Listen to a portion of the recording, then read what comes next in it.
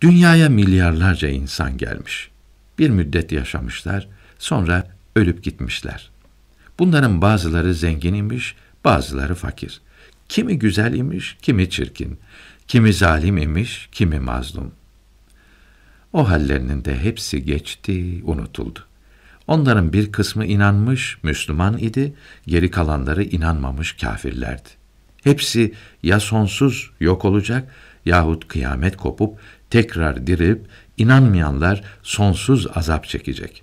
Her iki halde de inanmış olanlara hiç azap, hiç sıkıntı yok. Ama ikinci halde inanmayanlar sonsuz ve pek acı azap çekecekler. İnanmış olarak ölmüş olanlar şimdi tam rahat ve huzur içindeler.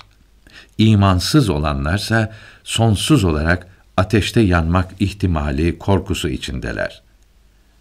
Ey insan! iyi düşün. Birkaç sene sonra sen de bunlardan biri olacaksın.